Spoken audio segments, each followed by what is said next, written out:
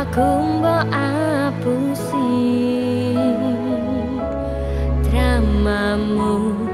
iki